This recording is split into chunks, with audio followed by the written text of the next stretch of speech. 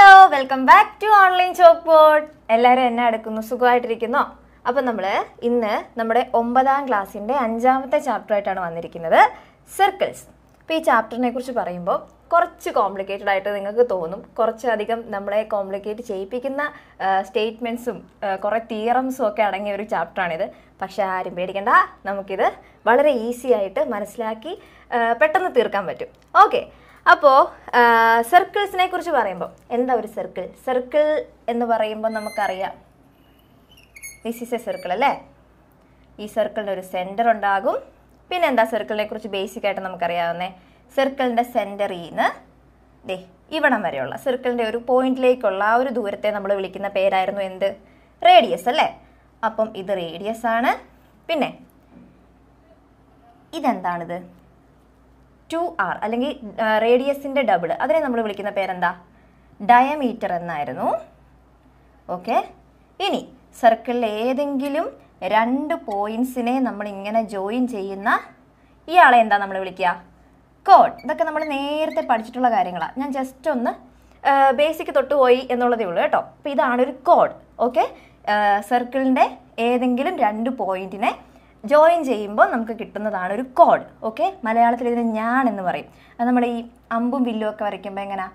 ദേ ഇങ്ങനെ അല്ലേ? അപ്പോൾ ഈ ഞാൻ തൊടുത്ത് വിടുകയല്ലേ ആ അപ്പോൾ ഈ രണ്ട് ഈ ആർക്കിന്റെ ഈ ഒരു രണ്ട് പോയിന്റ്സിനെ തമ്മിൽ യോജിപ്പിക്കുന്നതല്ലേ ഈ ഒരു ഞാൻ എന്ന് പറയുന്നത്? അത് തന്നെ ഇവിടെ ഒരു സർക്കിളിന്റെ രണ്ട് പോയിന്റ്സിനെ തമ്മിൽ യോജിപ്പിക്കുന്നയാളെ നമ്മൾ പറയുന്ന പേരാണ് കോഡ് അപ്പോൾ ഒരു സർക്കിളിനകത്ത് എത്ര കോഡ്സ് നമുക്ക് വരയ്ക്കാൻ പറ്റുമെന്ന് പറയാമോ നമുക്ക് ഇഷ്ടം പോലെ കോഡ്സ് വരയ്ക്കാൻ പറ്റത്തില്ലേ? ദേ ഈ രണ്ട് പോയിന്റിനെയും കൂടെ യോജിപ്പിച്ച് എനിക്ക് ഇങ്ങനെ ഒരു കോഡ് വരയ്ക്കാം ഇങ്ങനെ കോഡ് വരയ്ക്കാം. ഇനി ഈ നേരെ മാത്രമേ വരയ്ക്കത്തുള്ളൂ. അല്ല ഇങ്ങനെ എനിക്ക് രണ്ട് പോയിന്റിനെ യോജിപ്പിച്ച് കോഡ് വരയ്ക്കാം ഇങ്ങനെ വരയ്ക്കാം. അങ്ങനെ ഒരു സർക്കിളിനകത്ത് നമുക്ക് എത്ര കോഡ്സ് വേണമെങ്കിലും വരയ്ക്കാനായിട്ട് പറ്റും. അപ്പോൾ ഈ ഒരു ചാപ്റ്ററിൽ നമ്മൾ ആദ്യം പറയാൻ പോകുന്നത് സർക്കിളിന്റെ കോഡിനെ കുറിച്ച് സംബന്ധിക്കുന്ന ഒരു സ്റ്റേറ്റ്മെന്റ് അല്ലെങ്കിൽ ഒരു തിയറം അതിനെക്കുറിച്ചാണ് നമ്മൾ പഠിക്കാൻ പോകുന്നത്. അതിനു മുമ്പ് ഒരു സർക്കിളിനകത്തെ ഏറ്റവും വലിയ കോഡ് ഏതായിരിക്കും എന്ന് പറയാൻ പറ്റുമോ നമുക്കറിയാം ഇവിടെ നിന്ന് നമ്മളിങ്ങനെ കോഡ് കോഡ് വരച്ച് വരച്ച് വരച്ച് വരച്ച് പോകുമ്പം ഏറ്റവും ലെങ്തി ആയിട്ടുള്ള കോഡ് എവിടെ ആയിരിക്കും വരിക? ഉറപ്പായിട്ടും അത് അതിന്റെ സെന്ററിലായിരിക്കില്ലേ വരിക? അല്ലേ? ഈ സെന്ററിൽ കൂടെ പാസ് ചെയ്യുന്ന ഈ കോഡായിരിക്കും സർക്കിളിനകത്ത് നമുക്ക് വരയ്ക്കാൻ പറ്റുന്ന ഏറ്റവും വലിയ കോഡ് അപ്പോൾ ഇങ്ങനെ മാത്രമേ നമുക്ക് ഈ ഒരു കോഡ് വരയ്ക്കാൻ പറ്റുള്ളൂ. അല്ല നമുക്ക് ഈ സെന്ററിൽ കൂടെ എങ്ങനെ വേണേലും ഈ കോഡിനെ വരയ്ക്കാം. അങ്ങനെ സെന്ററിൽ കൂടെ കടന്നു പോകുന്ന ഈ കോഡിനെ തന്നെയാണ് നമ്മൾ സർക്കിളിന്റെ റേഡിയസ് എന്ന് പറയുന്നത്. അപ്പം ഏറ്റവും ബേസിക് ആയിട്ട് സർക്കിളിനെ കുറിച്ചുള്ള കാര്യങ്ങളാണ് നമ്മളിപ്പോൾ പറഞ്ഞു തുടങ്ങിയത്. ഇനി നമുക്ക് നമ്മുടെ ചാപ്റ്ററിലേക്ക് കടക്കാം. ചാപ്റ്റർ ഫൈവ് സർക്കിൾസ് നിങ്ങളുടെ ടെക്സ്റ്റ് ബുക്കിൽ പേജ് നമ്പർ സിക്സ്റ്റി ത്രീ തൊട്ട് തുടങ്ങുന്ന ചാപ്റ്റർ അപ്പോൾ നമുക്ക് തുടങ്ങാം. എല്ലാവരും റെഡി അല്ലേ? അപ്പോൾ നമ്മൾ ആദ്യത്തെ തീരത്തിലേക്ക് പോവാം. ഓക്കെ അപ്പോൾ നമ്മൾ കോഡ് എന്താന്ന് പറഞ്ഞല്ലേ? ഒരു സർക്കിളിനകത്ത് ഉള്ള ഏത് എങ്കിലും രണ്ട് പോയിന്റ്സിനെ യോജിപ്പിക്കുന്ന ഒരു ലൈൻ വരച്ചു കഴിഞ്ഞാൽ അയാളെയാണ് നമ്മൾ കോടെന്ന് പറയുക. അപ്പം ഞാൻ ഇങ്ങനെ ഒരു സർക്കിൾ വരച്ചു. ഇതാണ് ഈ സർക്കിളിന്റെ സെന്റർ എന്ന് വിചാരിക്കുക. ഞാൻ ഇങ്ങനെ രണ്ട് പോയിന്റ് എടുത്തു. ഞാൻ ഇവിടെ ഒരു കോഡ് വരച്ചു. ഓക്കെ ഇനി ഞാനിവിടെ ഒരു തീറം പറയാനായിട്ട് പോവാം. അല്ലെങ്കിൽ ഒരു സ്റ്റേറ്റ്മെന്റ് പറയാനായിട്ട് പോവാം. അതെന്താണെന്ന് നോക്കാം. നിങ്ങളുടെ ടെക്സ്റ്റ് ബുക്കിൽ പേജ് നമ്പർ സിക്സ്റ്റി ഫോറിനകത്ത് ഒരു ബോക്സിനകത്ത് കിടപ്പുണ്ട്. The perpendicular bisector the perpendicular bisector of the line joining any two points on a circle passes through the center of the circle. എന്തൊരു സെന്റൻസ് ആണല്ലേ? സെന്റൻസ് കാണുമ്പോൾ നമുക്ക് ശരിക്കും പേടിയാവും. ഒന്നുകൂടെ നമുക്കൊന്ന് വായിച്ചു നോക്കാം. എന്താ പറയുന്നത് the perpendicular bisector of the line joining any two points on a circle അതാരാ? ഒരു സർക്കിളിലെ രണ്ട് പോയിന്റ്സിനെ ജോയിൻ ചെയ്യുന്ന ലൈൻ അയാൾ ആരാന്നാ നമ്മളിപ്പോൾ പഠിച്ചേ? ആ അതൊരു കോഡാണ് അല്ലേ? ഒരു സർക്കിളിനകത്തെ രണ്ട് പോയിന്റ്സിനെ ജോയിൻ ചെയ്യുന്ന ലൈനെ നമ്മൾ പറഞ്ഞ പേരാണ് കോഡ് അപ്പോൾ നമുക്ക് ആ കോഡ് വെച്ച ആ സെന്റൻസ് ഒന്ന് റീറൈറ്റ് ചെയ്ത് നോക്കിയാലോ. The perpendicular bisector of the code അതായത് ഒരു സർക്കിളിനകത്തെ ഒരു കോഡിനകത്തെ നമ്മൾ വരയ്ക്കുന്ന പെർപെൻഡിക്കുലർ ബൈസെക്ടറിനെ കുറിച്ചാണ് ഇവിടെ പറയുന്നത്. അയാൾക്ക് എന്ത് സംഭവിക്കുമെന്നാ പറഞ്ഞേ? അങ്ങനെ ഒരു പെർപ്പൻഡിക്കുലർ ബൈസെക്ടർ നമ്മൾ വരച്ചു കഴിഞ്ഞാൽ ആ ബൈസെക്ടർ ഇതിലേ പാസ് ചെയ്യും. സർക്കിളിന്റെ സെന്ററിൽ കൂടെ പാസ് ചെയ്യും. മനസ്സിലായോ? ഒരു സർക്കിളിനകത്തെ ഏതെങ്കിലും ഒരു കോഡ് എടുത്തിട്ട് ആ കോഡിൽ നിന്ന് നമ്മളൊരു പെർപ്പൻഡിക്കുലർ ബൈസെക്ടർ വരച്ചു കഴിഞ്ഞാൽ ആ പെർപ്പൻഡിക്കുലർ ബൈസെക്ടർ ആ സർക്കിളിന്റെ സെന്ററിൽ കൂടെ പാസ് ചെയ്യും. ക്ലിയർ ആണോ? ഓക്കെ ഇപ്പം ഇതിനകത്ത് നമുക്ക് അറിയത്തില്ലാത്ത അല്ലെങ്കിൽ പറയാത്ത ഒരു ടേമേ ഉള്ളൂ. അതാണ് പെർപെൻഡിക്കുലർ ബൈസെക്ടർ നമുക്ക് ഓൾറെഡി അറിയാം. നമ്മൾ വലിയ പിള്ളേരായല്ലേ? നമ്മൾ കുഞ്ഞു ക്ലാസ് തൊട്ട് കേൾക്കുന്ന ഒരു കാര്യമാണ് പെർപെൻഡിക്കുലർ ബൈസെക്ടർ അപ്പോൾ എങ്ങനെ ഈ പെർപെൻഡിക്കുലർ ബൈസെക്ടർ വരയ്ക്കുക? ഇങ്ങനൊരു സർക്കുലർ കോഡ് ഈ കോഡിന്റെ പെർപെൻഡിക്കുലർ ബൈസെക്ടർ എങ്ങനെ വരയ്ക്കുക? നമുക്കറിയാം. അല്ലേ? എങ്ങനെയാ കോമ്പസ് എടുക്കുക. ഈ പോയിന്റിൽ പിടിക്കുക. ഇവിടുന്ന് ഈ കോഡിന്റെ ഹാഫിനേക്കാളും കൂടുതൽ. ദേ ഇത്രയുള്ള ഇത്രയും ഒരു അളവെടുക്കുക. എന്നിട്ട് അത് ഈ പോയിന്റിൽ നിന്ന് ഇവിടെ ഒന്ന് വരയ്ക്കുക ഇവിടെ ഒന്ന് വരയ്ക്കുക. സെയിം ഈ സൈഡിൽ കോമ്പസ് കോമ്പസ് പോയിന്റ് ഔട്ട് ചെയ്യുക. എന്നിട്ട് ഇവിടുന്ന് സെന്ററിൽ ഇതിന്റെ ഹാഫിനേക്കാൾ കൂടുതലായിട്ടുള്ള ലെങ്ത് എടുക്കുക. ഇവിടെ പോയിന്റ് ഔട്ട് ചെയ്യുക ഇവിടെ പോയിന്റ് ഔട്ട് ചെയ്യുക. ഓക്കെ അപ്പോൾ നമുക്ക് ഇനി ഈ രണ്ട് മാർക്കിനെയും കൂടെ നമുക്ക് ഇങ്ങനെ കൂട്ടി യോജിപ്പിക്കാനായിട്ട് പറ്റും. ഓക്കെ ഇതാണ് ഈ കോഡിന്റെ പെർപെൻഡിക്കുലർ ബൈസെക്ടർ അങ്ങനെ നമ്മൾ ഒരു കോഡിൽ നിന്ന് ഒരു പെർപ്പൻഡിക്കുലർ ബൈസെക്ടർ വരച്ചു കഴിഞ്ഞാൽ ആ പെർപ്പൻഡിക്കുലർ ബൈസെക്ടർ എങ്ങനെ ചെയ്യുമെന്നാ പറഞ്ഞേ? ഉറപ്പായിട്ടും ആ എന്താണ് സർക്കിളിന്റെ സെന്ററിൽ കൂടെ ആയിരിക്കും പാസ് ചെയ്യുന്നത്. ഇതെന്റെ ഒരു റഫ് ആണ്. അതുകൊണ്ടാണ് ഇങ്ങനെ ഇരിക്കുന്നത് കേട്ടോ. അപ്പോൾ എന്നായാലും നമ്മളൊരു പെർപ്പൻഡിക്കുലർ ബൈസെക്ടർ ഒരു കോഡിൽ നിന്ന് വരച്ചു കഴിഞ്ഞാൽ അത് ആ സെന്ററിൽ കൂടെ തന്നെയായിരിക്കും പാസ് ചെയ്യുന്നത്. അപ്പം ഇതാണ് പെർപ്പൻഡിക്കുലർ ബൈസെക്ടർ ഇനി പെർപ്പൻഡിക്കുലർ ബൈസെക്ടറിന് വേറെ എന്തൊക്കെ പ്രത്യേകതയാണ് ഉള്ളത് ആ perpendicular bisector what is the meaning of bisector bisector എന്ന് വെച്ചാൽ ഈ കോഡിനെ ഇത് ഈക്വൽ ആയിട്ടായിരിക്കും ഡിവൈഡ് ചെയ്യാൻ പോവുക. ബൈസെക്ട് ചെയ്യുക. അതായത് ഈ രണ്ട് പോർഷനും ഇത് എ ബി സി ആണെങ്കിൽ ഈ എ സിയും സി ബിയും ഈക്വൽ ആയിരിക്കും. ഓക്കെ ഇതൊരു പെർപെൻഡിക്കുലർ ബൈസെക്ടർ ആണെങ്കിൽ എ സിയും സി ബിയും ഈക്വൽ ലെങ്ത് ആയിരിക്കും. അതുപോലെ ഇതിന്റെ ഇവിടെ ഉണ്ടാകുന്ന ആംഗിൾ ഇല്ലേ? അയാൾ എന്തായിരിക്കും? പെർപെൻഡിക്കുലർ ആയിരിക്കും. ദാറ്റ് മീൻസ് ഇതും നയന്റി ഡിഗ്രി ആയിരിക്കും. ഇതും നയന്റി ഡിഗ്രി ആയിരിക്കും. ഓക്കെ അപ്പോൾ പെർപെൻഡിക്കുലർ ബൈസെക്ടറിനെ കുറിച്ച് മനസ്സിലായല്ലോ? ഇനി നമുക്ക് ആ ഒരു എന്താണ് ഒരു സെന്റൻസ് ഒന്നുകൂടി ഒന്ന് വായിച്ച് നോക്കിയാലോ?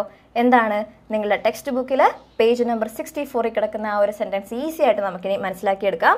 എന്താണ്? The perpendicular bisector of any code of a circle passes through it centre ഒരു സർക്കിളിന്റെ ഒരു കോഡിൽ നിന്ന് നമ്മൾ വരയ്ക്കുന്ന എല്ലാ പെർപെൻഡിക്കുലർ ബൈസെക്ടേഴ്സും എതിലായിരിക്കും പാസ് ചെയ്യുന്നത് സർക്കിളിന്റെ സെന്ററിൽ കൂടി ആയിരിക്കും പാസ് ചെയ്യുന്നത്. ഓക്കെ അല്ലേ?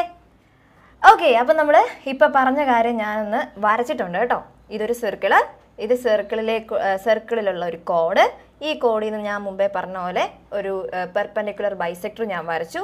നോക്കി അത് ഇതിലേ കടന്നു പോയേക്കുന്നതെന്ന് ഇതാണ് നമ്മുടെ സർക്കിളിന്റെ സെന്റർ ആ സെന്ററിൽ കൂടി അല്ലേ കടന്നു പോയേ ആ കാര്യം മാത്രമേ അവിടെ പറഞ്ഞിട്ടുള്ളൂ. ഇനി ഇതിനകത്തും തന്നെ നമുക്ക് രണ്ട് കാര്യങ്ങളും കൂടെ പറയാൻ പറ്റും. അതാണ് നമ്മുടെ പുസ്തകത്തിൽ വേറെ തന്നിരിക്കുന്ന രണ്ട് കാര്യങ്ങൾ. അപ്പം ആദ്യം നമ്മൾ കോർഡ് കോഡിന്റെ പെർപ്പൻഡിക്കുലർ ബൈസെക്ടർ എതിലേ പോകുന്ന പറഞ്ഞേ? പാസസ് ത്രൂ ദ സെന്റർ ഇതാണ് ഫസ്റ്റ് ഇപ്പം ഞാൻ തന്നെ ഇത് കുറേ തവണ റിപ്പീറ്റ് ചെയ്തിട്ടുണ്ട്. അപ്പം നിങ്ങൾക്ക് മനസ്സിലായിട്ടുണ്ടെന്ന് വിചാരിക്കുന്നത് കേട്ടോ. ഇനി നമുക്കിതൊന്ന് തിരിച്ചു പറഞ്ഞു നോക്കാം. അപ്പോൾ നമുക്ക് ഇനി അടുത്തത് ഇതിനെക്കുറിച്ച് എന്താ പറയാൻ പറ്റുന്നതെന്ന് നോക്കാം. The perpendicular from the centre of a circle to A code by sex the code കുറച്ചുകൂടെ കൺഫ്യൂഷൻ ആയില്ലേ? പക്ഷെ സിമ്പിളാണ് ഒന്നുമില്ല. ഇപ്പം നമ്മൾ പറഞ്ഞ കാര്യം ജസ്റ്റ് ഒന്ന് തിരിച്ചു പറയുന്നു. അതായത് ഒരു സർക്കിളിന്റെ സെന്ററിൽ നിന്ന് ഒരു കോഡിലേക്ക് നമ്മളൊരു പെർപെൻഡിക്കുലർ വരച്ചു കഴിഞ്ഞാൽ അത് ആ കോഡിനെ ബൈസെക്ട് ചെയ്യും. അതായത് ആ കോഡിനെ ഈക്വൽ ആയിട്ട് ഡിവൈഡ് ചെയ്യും. മനസ്സിലായോ? അപ്പോൾ നമ്മൾ പറഞ്ഞ കാര്യം ഒന്നുകൂടെ പറയാം. ഒരു സർക്കിളിന്റെ സെന്ററിൽ നിന്ന് നമ്മൾ എന്നാ ചെയ്യുക? ഒരു പെർപെൻഡിക്കുലർ വരയ്ക്കുക. എങ്ങോട്ട്? ടു കോഡ് ഓക്കെ കോഡിലേക്ക് വരച്ചു കഴിഞ്ഞാൽ ആ പോകുന്ന വഴി അയാൾ എന്നാ കാണിക്കും? ആ കോഡിനെ ബൈസെക്ട് ചെയ്യും. ബൈസെക്സ് ദ കോഡ് ഇതൊക്കെ എന്തിനാ പഠിക്കുന്നത് നിങ്ങളിപ്പോൾ ഓർക്കുന്നില്ലേ? അത് എവിടെയാണ് പഠിക്കുക എന്തിനാ ഉപയോഗിക്കുന്നത് എന്നുള്ളത് നമ്മൾ പ്രോബ്ലം ചെയ്യുമ്പോൾ മനസ്സിലാവും. അപ്പോൾ ഇത് നല്ല കൃത്യമായിട്ട് മനസ്സിലാക്കി വെക്കണം. ജസ്റ്റ് കാര്യമൊന്നുമില്ല. ഇപ്പം നമ്മൾ പറഞ്ഞ സാധനം തന്നെ ഒന്ന് തിരിച്ചു പറഞ്ഞു. മുമ്പേ നമ്മൾ ഇവിടുന്ന് അങ്ങോട്ട് പറഞ്ഞു. ഇപ്പം നമ്മൾ മോളിൽ നിന്ന് താഴോട്ട് പറഞ്ഞു. അത്രയും വ്യത്യാസം മാത്രമേ വന്നിട്ടുള്ളൂ കേട്ടോ. അപ്പം ഇതാണ് രണ്ടാമത്തെ കാര്യം ഈ ഒരു ഫിഗറിൽ നിന്ന് നമുക്ക് പറയാനായിട്ട് പറ്റുന്നത്. ഓക്കെ രണ്ട് കാര്യം നമ്മൾ പഠിച്ചേ. ഇനി മൂന്നാമത് ഒരു കാര്യം കൂടി ഇതിനകത്ത് പറയാൻ പറ്റും. അതെന്താണെന്ന് നോക്കാം.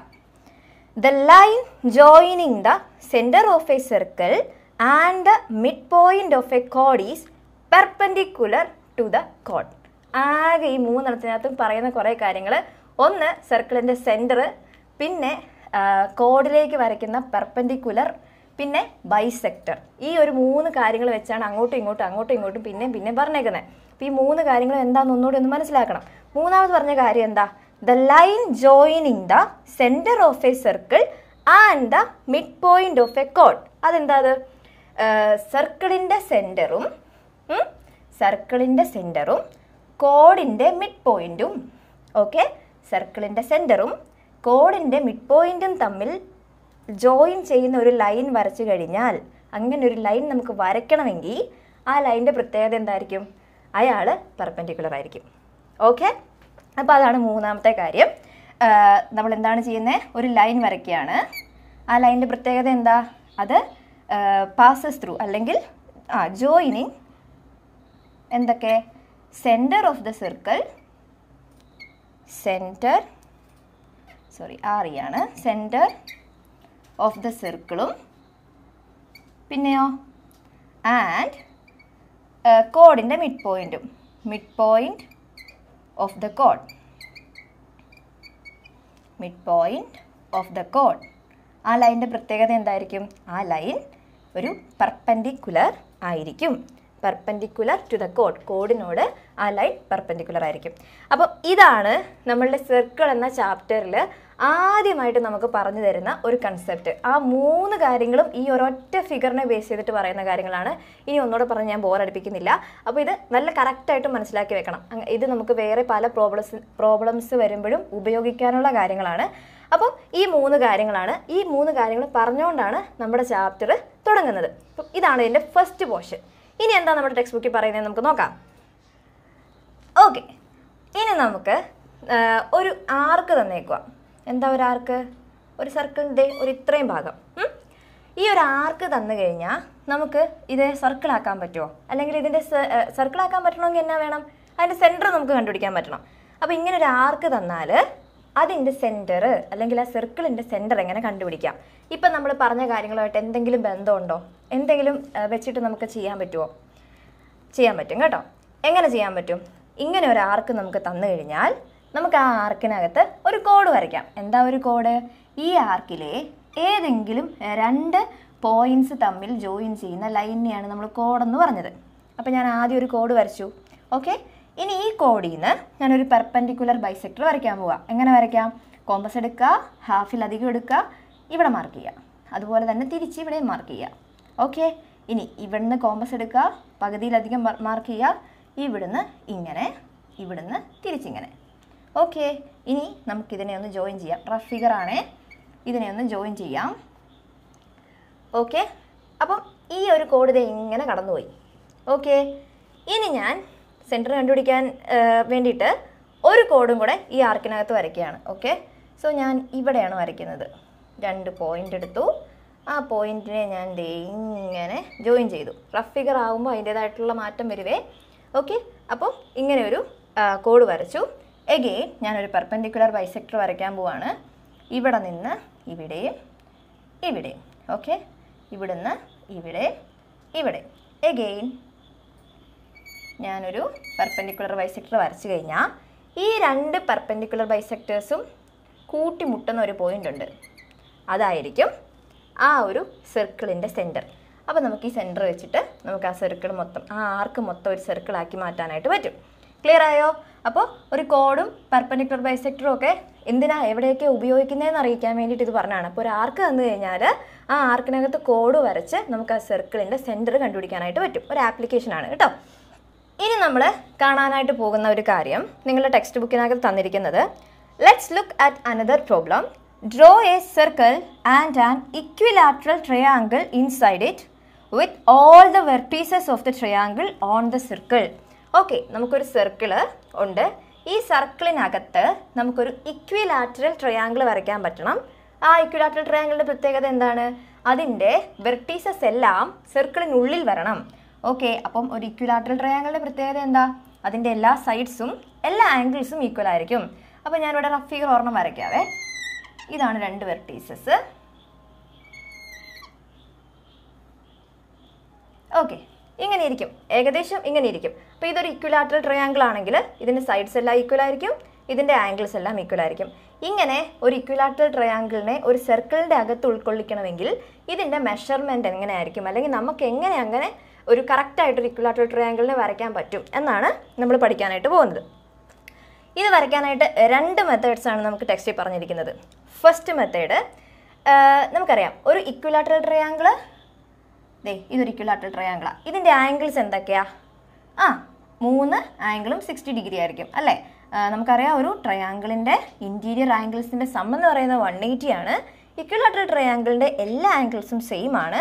അതുകൊണ്ട് വൺ എയ്റ്റി കിട്ടണമെങ്കിൽ ഓരോ ആംഗിളും സിക്സ്റ്റി ഡിഗ്രി ആയിരിക്കണം. സൈഡ്സ് ഇപ്പം ഇത് നാലാണെങ്കിൽ ഇതും നാലായിരിക്കണം ഇതും നാലായിരിക്കണം. അത്ര മാത്രമേ ഉള്ളൂ. ആംഗിൾസ് എപ്പോഴും സിക്സ്റ്റി ഡിഗ്രി ആയിരിക്കും. ഇക്വലാറ്ററൽ ട്രയാങ്കിളിന്റെ ഒരു ബേസിക് സാധനം ഇതിന്റെ ഇടയ്ക്കൊന്ന് പറഞ്ഞു പോയതാണ് കേട്ടോ. അപ്പം ഇനി ഒരു സർക്കിൾ വെച്ച് നോക്കുമ്പോൾ ഒരു സർക്കിൾ ഒരു പോയിന്റ് ഒരു പോയിന്റിന്റെ ചുറ്റുമുള്ള ഒരു ആംഗിൾ എന്ന് പറയുന്നത് എത്രയാ? നമ്മൾ എട്ടാം ക്ലാസ്സിൽ പഠിച്ചിട്ടുണ്ട്. ഒരു പോയിന്റിന്റെ ചുറ്റുമുള്ള ആംഗിൾ എന്ന് പറഞ്ഞാൽ എത്രയാ? ത്രീ സിക്സ്റ്റി ഡിഗ്രിയാണ്. ഓക്കെ ഒരു പോയിന്റിന്റെ ചുറ്റുമുള്ള ആംഗിൾ ത്രീ സിക്സ്റ്റി ഡിഗ്രിയാണ് അതായത് ഈ പോയിന്റ് ഇവിടെ നിന്ന് തുടങ്ങി ഇവിടെ കറക്കി കറങ്ങി തിരിച്ചു വരാനായിട്ട് എടുക്കുന്ന ആംഗിൾ എത്രയാ? ത്രീ സിക്സ്റ്റി ഡിഗ്രിയാണ്. അങ്ങനെയാണെങ്കിൽ ഒരു സർക്കിളിനകത്ത് ഒരു ഇക്വലാറ്ററൽ ട്രയാങ്കിൾ വരണമെങ്കിൽ അതിന്റെ ഒരു ആംഗിൾ എത്രയാണെന്ന് എങ്ങനെ കണ്ടുപിടിക്കും? പറയാനായിട്ട് പറ്റുമോ അത് നമുക്ക് ത്രീ സിക്സ്റ്റീനെ ഈക്വൽ ആയിട്ടല്ലേ ഡിവൈഡ് ചെയ്യണ്ടേ? കാരണം ഇക്വലാറ്റൽ ട്രയാങ്കിളിന്റെ ആംഗിൾസ് എല്ലാം ഈക്വലാണ് അപ്പോൾ ഡിവൈഡഡ് ബൈ ത്രീ ചെയ്താൽ മതി. അപ്പോൾ ഒരു ആംഗിൾ എന്ന് പറയുന്ന വൺ ട്വന്റി ഡിഗ്രി ആയിരിക്കും നമുക്ക് മനസ്സിലാക്കാം. ഓക്കെ ഒരു സർക്കിളിനകത്ത് ഒരു ഇക്വലാറ്റൽ ട്രയാങ്കിൾ വരയ്ക്കണമെങ്കിൽ അതിന്റെ ഒരു ആംഗിൾ എന്ന് പറയുന്നത് വൺ ട്വന്റി ഡിഗ്രി ആയിരിക്കണം. അപ്പം ഇതും വൺ ട്വന്റി ആയിരിക്കണം. ഇതും വൺ ട്വന്റി ആയിരിക്കണം. ഇതും വൺ ട്വന്റി ആയിരിക്കണം. ഓക്കെ ഇപ്പം ഇത്രയും ബേസിക് ആയിട്ടുള്ള കാര്യങ്ങൾ നമുക്കറിയാമെങ്കിൽ നമുക്ക് സുഖമായിട്ട് സർക്കിളിനകത്ത് ഇക്വലാറ്റൽ ട്രയാങ്കിൾ വരയ്ക്കാൻ പറ്റും. എങ്ങനെയാണെന്ന് നോക്കാം? നമുക്കൊരു റഫ് ഫിഗർ വരയ്ക്കാം അല്ലേ? അപ്പോൾ ഒരു സർക്കിൾ വരയ്ക്കുക ആദ്യം. ഓക്കെ ഒരു സർക്കിൾ വരയ്ക്കുക. നിങ്ങൾ കോമ്പസ് വെച്ച് വരച്ച് നോക്കണേ. ഒരു സർക്കിൾ വരയ്ക്കുക. എന്റെ സർക്കിളിന്റെ സെന്റർ ദേ ഇതാണ്. ഓക്കെ എന്റെ സർക്കിളിന്റെ സെന്റർ ഇതാണ്. ഏതെങ്കിലും ഒരു റേഡിയസ് എടുത്ത് വരയ്ക്കുക കേട്ടോ. എന്റെ സർക്കിളിന്റെ സെന്റർ ഞാൻ കണ്ടുപിടിച്ചു. എന്നിട്ട് ഞാൻ ആദ്യം ഇതിനകത്തൊരു റേഡിയസ് മാർക്ക് ചെയ്യുകയാണ് ഏതെങ്കിലും ഒരു ലൈൻ ഓക്കെ ഞാനപ്പോൾ ദേ ഇതെടുത്തു. ഇവിടെയാണ് ഞാൻ എടുത്ത ആദ്യത്തെ ലൈൻ ഓക്കെ ഇനി എനിക്കെന്താ അറിയാവുന്നേ? ഒരു ട്രയാങ്കിളിന്റെ ഒരു ആംഗിൾ സർക്കിളിനകത്ത് വരുമ്പോൾ ഒരു ആംഗിൾ എത്രയായിരിക്കണം? വൺ ട്വന്റി ഡിഗ്രി ആയിരിക്കണം. അപ്പോൾ നിങ്ങളുടെ പൊട്രാക്ടർ എടുക്കുക. ഓക്കെ അപ്പം നമ്മൾ ഇങ്ങനെ ഒരു റേഡിയസ് എടുത്തു. പൊട്രാക്ടർ എടുക്കുക. ഇനി പൊട്ടറാക്ടറിനകത്ത് നമ്മൾ വൺ ട്വന്റി ഡിഗ്രി മാർക്ക് ചെയ്യാൻ വേണ്ടിയിട്ട് പോവാം. ഓക്കെ എങ്ങനെയാ പൊട്ടറാക്ടർ പിടിക്കണ്ടേന്ന് അറിയാമല്ലോ അല്ലേ? ഇങ്ങനെ വെച്ചിട്ട് വൺ ട്വന്റി ഡിഗ്രി എവിടെയാ? കാണുന്നില്ലല്ലോ. വൺ ട്വന്റി ഡിഗ്രി ദേ ഇവിടെ. ഓക്കെ സോ ഇവിടെ നമുക്ക് അടുത്ത ലൈൻ വരയ്ക്കാം.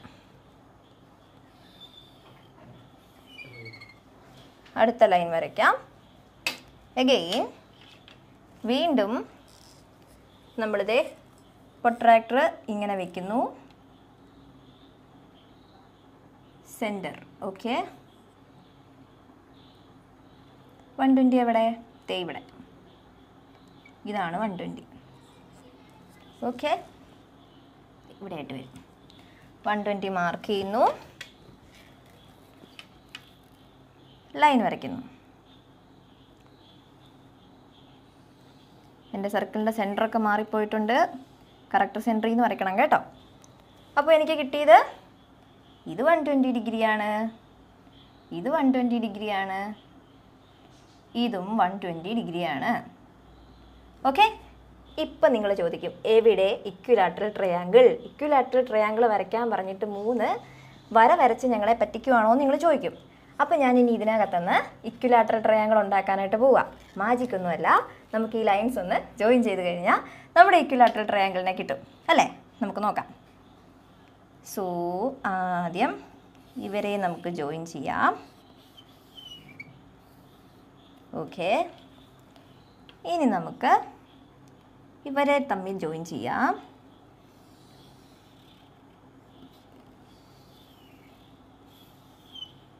Okay and the third lain.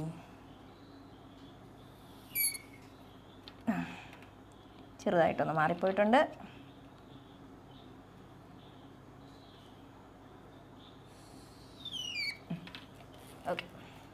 നോക്കിക്കേ എനിക്കൊരു ട്രയാങ്കിൾ കിട്ടി.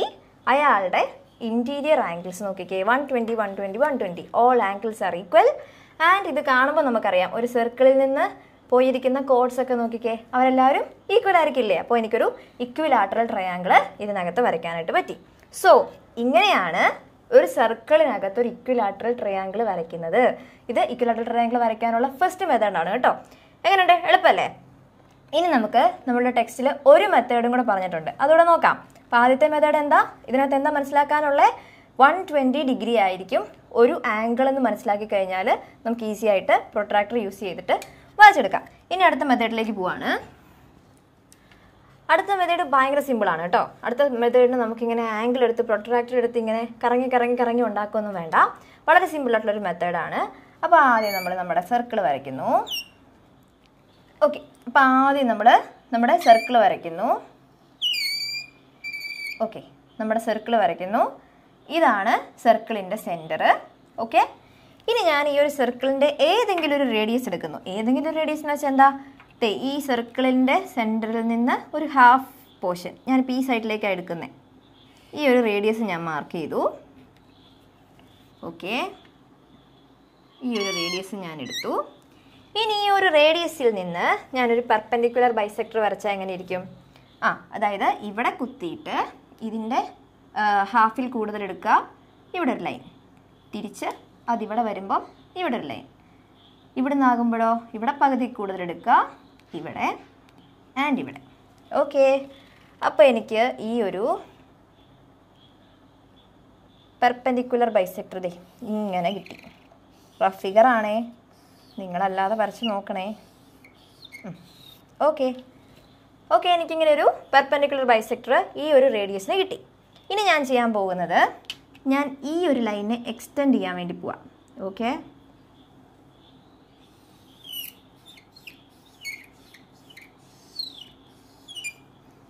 ഞാനിത് ഇതിനെ ഒന്ന് എക്സ്റ്റെൻഡ് ചെയ്തു. ഞാൻ ഇതിനെ ഇങ്ങനെ ഒന്ന് എക്സ്റ്റെൻഡ് ചെയ്തു.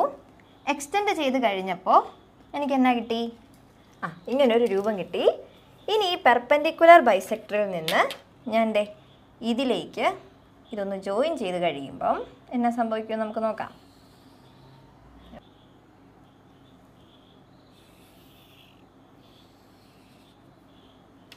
ഓക്കെ സോ ഇവിടെ നോക്കിക്കേ. എനിക്കിവിടെ ഒരു ട്രയാങ്കിൾ കിട്ടിയത് കണ്ടോ? ഇതൊരു ഇക്വിലാട്രൽ ട്രയാങ്കിൾ ആയിരിക്കും. അപ്പോൾ ഇവിടെ എന്താ ഞാൻ ചെയ്തേ? ആദ്യം ഞാനൊരു റേഡിയസ് മാർക്ക് ചെയ്തു. ആ റേഡിയസിന്റെ പെർപ്പൻഡിക്കുലർ ബൈസെക്ടർ വരച്ചു. അതിനെ നീട്ടി വരച്ചു. എന്നിട്ട് ഈ റേഡിയസിനെ പിന്നെ ഞാൻ എക്സ്റ്റെൻഡ് ചെയ്ത് വരച്ചു. അതൊരു കോഡാക്കി വരച്ചു. എന്നിട്ട് ഈ ഒരു ലൈൻസ് നമ്മൾ ജോയിൻ ചെയ്തു. അപ്പോൾ എനിക്ക് കിട്ടുന്നതും ഒരു ഇക്വലാട്രൽ ട്രയാങ്കിൾ ആയിരിക്കും. അപ്പോൾ നമ്മളിവിടെ ഇപ്പോൾ എന്താ പഠിച്ചേ? എങ്ങനെ ഒരു സർക്കിളിന്റെ അകത്ത് ഇക്വലാട്രൽ ട്രയാങ്കിൾ വരയ്ക്കാൻ പറ്റും? അതിനൊരു കണ്ടീഷനും കൂടി ഉണ്ട്. ആ ഇക്വലാട്രൽ ട്രയാങ്കിളിന്റെ വെർട്ടീസസ് എല്ലാം സർക്കിളിൽ സർക്കിളിൽ ആയിരിക്കണം. ഓക്കെ അപ്പോൾ നമ്മൾ ഈ ഒരു വീഡിയോയിൽ ചെയ്തത് നമ്മുടെ സർക്കിൾസ് എന്ന ചാപ്റ്ററിലെ ആദ്യത്തെ തുടങ്ങുന്ന പോർഷനിലുള്ള മെയിൻ ആയിട്ടുള്ള കുറച്ച് കൺസെപ്റ്റുകളാണ് നിങ്ങൾക്ക് കേൾക്കുമ്പം ആദ്യം പേടിയായിട്ട് തോന്നും. അല്ലെങ്കിൽ വായിക്കുമ്പോൾ മനസ്സിലാവാത്തതുപോലെ തോന്നും. കടുകട്ടിയായിട്ട് തോന്നും. പക്ഷെ മനസ്സിലാക്കി കഴിഞ്ഞിട്ടുണ്ടെങ്കിലോ ഭയങ്കര സിമ്പിളായിട്ടുള്ളൊരു കാര്യമേ ഉള്ളൂ. ഓക്കെ അപ്പോൾ ഈ ഒരു കൺസെപ്റ്റുകളൊക്കെ നമ്മൾ മനസ്സിലാക്കി വെക്കണം. മനസ്സിലാക്കി വെച്ചിട്ടുണ്ടെങ്കിൽ ഏത് പ്രോബ്ലം വന്നാലും ഇതൊക്കെ അങ്ങോട്ടും ഇങ്ങോട്ടും ഒക്കെ എടുത്തിട്ട് നമുക്ക് സോൾവ് ചെയ്യാൻ പറ്റുന്ന കാര്യങ്ങൾ മാത്രമേ ഈ ചാപ്റ്ററിനകത്തുള്ളൂ വളരെ സിമ്പിളായിട്ട് നമുക്ക് ഹാൻഡിൽ ചെയ്യാൻ പറ്റും. പക്ഷേ ആദ്യം നമുക്ക് കേൾക്കുമ്പോൾ പേടിയാകും. ഉറപ്പായിട്ടും പേടിയാകും. കാരണം വലിയ വലിയ കാര്യങ്ങളാണല്ലോ അതിനകത്ത് പറഞ്ഞു പോയേക്കുന്നതെന്ന് ഓർക്കും. പക്ഷേ ആ ഓരോ സെന്റൻസ് നമ്മൾ സ്പ്ലിറ്റ് ചെയ്ത് കഴിഞ്ഞിട്ടുണ്ടെങ്കിൽ നമുക്ക് എളുപ്പത്തിൽ ചെയ്തെടുക്കാവുന്നതേ ഉള്ളൂ കേട്ടോ. അപ്പോൾ ഈ ഒരു വീഡിയോ നമ്മൾ ഈ രണ്ട് കൺസെപ്റ്റുകൾ പറഞ്ഞു നിർത്തുകയാണ്.